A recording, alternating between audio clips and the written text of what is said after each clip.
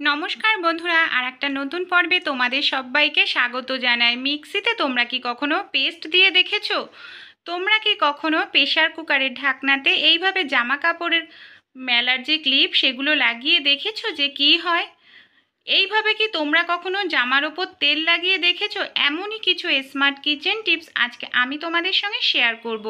আশা করছি টিপসগুলি তোমাদের কাজে লাগবে। চলো তাহলে অনেক সময় হয় আমরা রান্নাবাড়ি করতে যাই বা কোনো কিছু খেতে যাই দেখা যায় জামা কাপড়ের মধ্যে তেল লেগে যায়। আর জামা কাপড়ের মধ্যে কোনো কারণে যদি তেল লেগে যায় এই তেলের দাগটা কিন্তু তুলতে গেলে আমাদের অনেকক্ষণ ডলাডলি বা ঘষাঘষি করতে লাগে অনেক সময় দাগটা কিন্তু ওঠেও না। এখানে দেখো আমি একটা কাপড় নিয়ে নিয়েছি কাপড়ের মধ্যে এক চামচ আমি এইভাবে তেল লাগিয়ে নিলাম। এই তেলের দাগটা কিন্তু আমরা এখন এক মিনিটের মধ্যে তুলে ফেলতে পারি। আমাদের বাড়িতে তো প্রত্যেকেরই আটা কিংবা ময়দা থাকে। সামান্য পরিমাণে তোমরা যদি আটা, ময়দা তেলের ওপরে দিয়ে দাও, দেখো এখানে আমি নিয়ে নিয়েছি একটা পাত্রে আটা।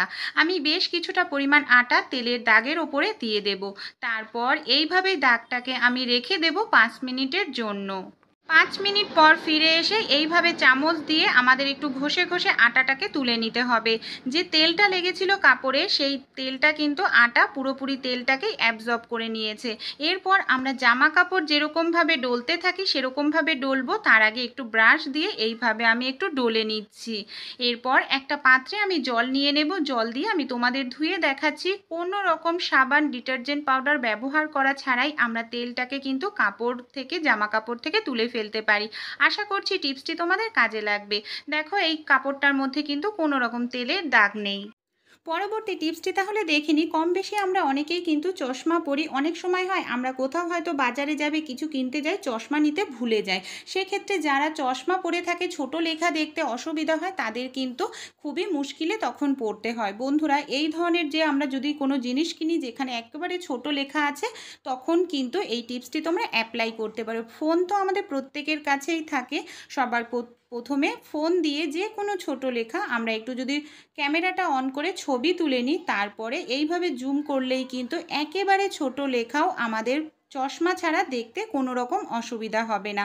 আশা করছি টিপসটি তোমাদের কাজে লাগবে, অবশ্যই অ্যাপ্লাই করো। টিপসটি তাহলে দেখে নিই এখানে দেখো আমি একটা কোল্ড ড্রিঙ্কসের বোতল নিয়ে নিয়েছি। সবার প্রথমে যে সিলটা আছে, সেই সিল বা স্টিকারটাকে আমি খুলে নিচ্ছি। তাহলে এই বোতলটাকে কি কাজে লাগাবো? চলো তাহলে দেখে নিই বন্ধুরা, অনেক সময় হয় আমাদের বাড়িতে হয়তো কারেন্ট চলে যায় বা আমাদের বাড়িতে প্রত্যেকের কিন্তু এমার্জেন্সি লাইট থাকে না, অনেক সময় মোমবাতিও শেষ হয়ে যায়। সেই সময় আমরা অনেকেই আছি, ফোনের যে লাইট থাকে, সেই লাইটটাকে কিন্তু আমরা জ্বালাই। ফোনের লাইটের আলোটা কিন্তু আমাদের প্রচণ্ড পরিমাণে চোখে লাগে আর ঠিকমতো দেখতে অসুবিধাও হয়। সেক্ষেত্রে এই টিপসটি তোমরা অ্যাপ্লাই করতে পারো বন্ধুরা। সবার প্রথমে দেখো, ফোনের যে টর্চটা আছে, আমি অন করে নিচ্ছি।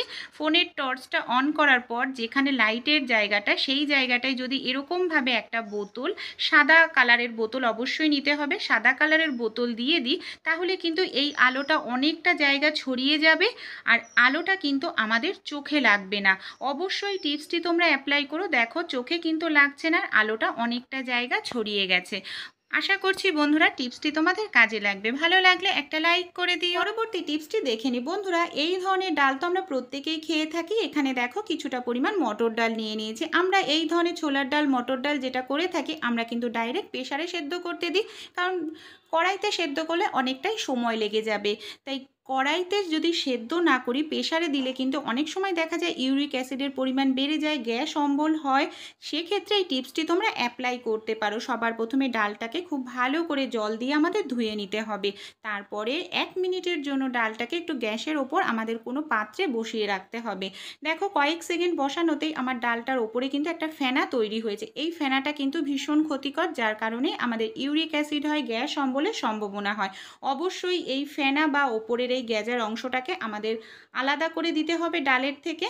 তারপরে এই ডালটাকে যদি আমরা প্রেশারে সিটি দিই, তাহলে কিন্তু ডালের যে উপকারী গুণটা, সেটা আমরা পুরোটাই পেতে পারব। আমাদের কোনো রকম গ্যাস অম্বল হবে না, এমনকি ইউরিক অ্যাসিডও বাড়বে না।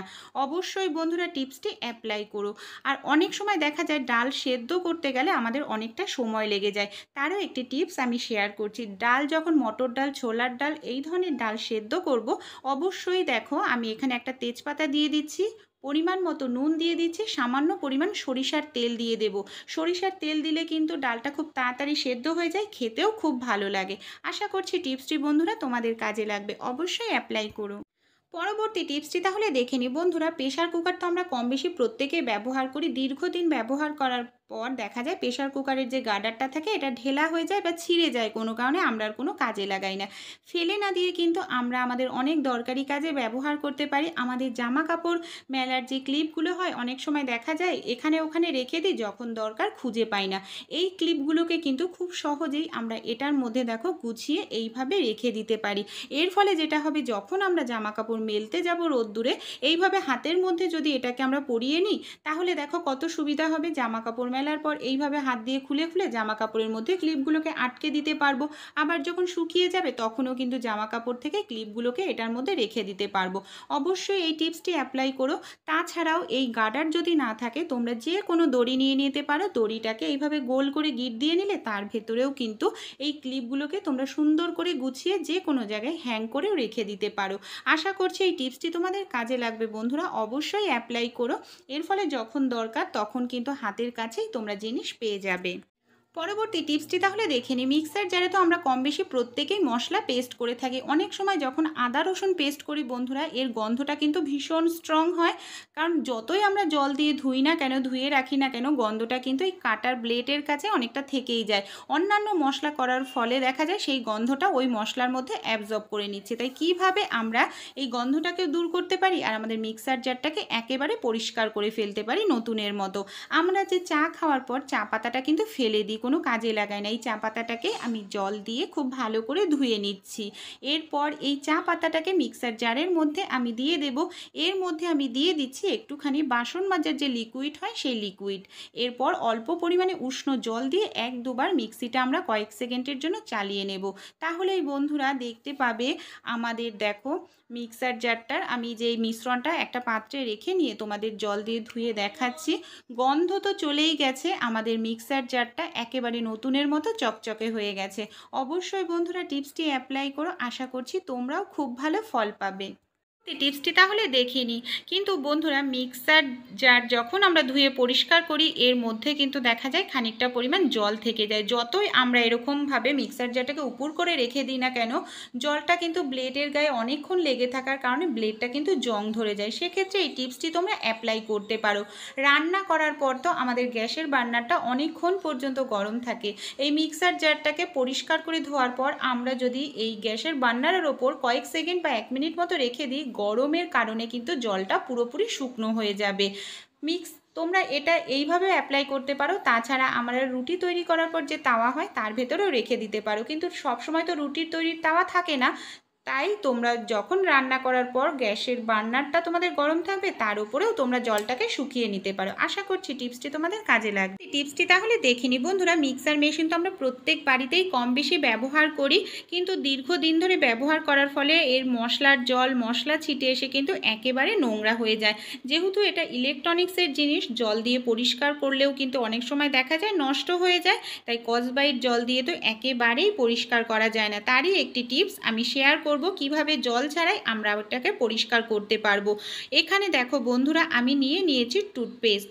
যে কোনো সাদা কালারের টুথপেস্ট তোমরা ব্যবহার করতে পারো, আর নিয়ে নিচ্ছি পুরনো একটি ব্রাশ। সামান্য পরিমাণে আমি একটু টুথপেস্ট এই ব্রাশের গায়ে লাগিয়ে নেব, ব্রাশটাকে হালকা একটু ভিজিয়ে নিয়েছি। তারপরে এই ব্রাশ দিয়ে আমরা টুথপেস্টটাকে খুব ভালো করে মিক্সার মেশিনে লাগিয়ে নিচ্ছি। লাগানোর পর যেই সব জায়গায় বেশি নোংরা সেখানে একটু ভালো করে লাগাতে হবে। এরপর আমি এটাকে এক মিনিটের জন্য এইভাবেই রেখে দেব। মিনিট পর আবার আমরা একটুখানি ব্রাশটাকে ভিজিয়ে নিয়ে এইভাবে ভেতরের দিকটা, বাইরের দিকটা কিন্তু খুব ভালো করে আমরা ডলে নেব। তাহলেই বন্ধুরা দেখতে পারবে যত নোংরাই থাক না কেন খুব সহজেই উঠে যাবে আর আমাদের মিক্সার মেশিনটা কিন্তু একেবারে পরিষ্কার হয়ে যাবে। ভেতরের দিকটা দেখো, নোংরাগুলো কত সহজেই আমরা পরিষ্কার করে নিতে পারছি একটি ব্রাশের সাহায্যে। পর এখানে আমি একটা তাওয়ালে হালকা ভিজিয়ে নিয়েছি ভেজার তাওয়ালেটা দিয়ে এইভাবে আমি মুছে নিচ্ছি। ভেতরের দিকটা, ব্রাশের নিচের অংশটা দিয়ে এইভাবে গোল ঘোরাচ্ছি তাওয়ালেটা, তাহলেই কিন্তু খুব সুন্দর পরিষ্কার হয়ে যাবে। তারপর কোনো শুকনো কাপড় দিয়ে আমাদের মিক্সার মেশিনটাকে মুছে নিতে হবে। তাহলেই বন্ধুরা দেখো, কোনো রকম ঘষা মাজা ছাড়াই কত সুন্দর আমাদের মিক্সার মেশিনটা পরিষ্কার হয়ে গেছে, সব দাগ ছোপ উঠে গেছে, নতুনের মতো চকচক করছে। আশা করছি এই টিপসটিও তোমাদের কাজে লাগবে। মিক্সার মেশিনটাকে তো আমরা খুব সুন্দর করে পরিষ্কার করে নিলাম, কি এই যে তারটা রয়েছে, এই তারটা কিন্তু এরকম এলোমেলো থাকলে দেখতে আমাদের বাজে লাগে, ঘরটা অগোছালো মনে হয়। তা কোনো রকম উপকরণ ব্যবহার করা ছাড়াই তারটাকে আমরা এইভাবে যদি গোল গোল করে সবার প্রথমে পেঁচিয়ে নিই, তারপরে তারের যে এই অংশটা আছে, এই অংশটাকে পেঁচানোর মধ্যে এইভাবে ভেতরের দিকে ঢুকিয়ে দিই। তাহলেই দেখো, এটা কিন্তু একেবারে আমাদের গোছানো থাকবে, নড়াচড়া রাখলেও কিন্তু তারটা খুলে এলোমেলো হবে না। বন্ধুরা, টিপসগুলি কীরকম লাগল কমেন্ট করে জানাতে ভুলো না। ভালো লাগলে একটা লাইক করো, আমার চ্যানেলে নতুন বন্ধু হলে চ্যানেলটাকে সাবস্ক্রাইব করে প্লিজ আমার পাশে থেকো।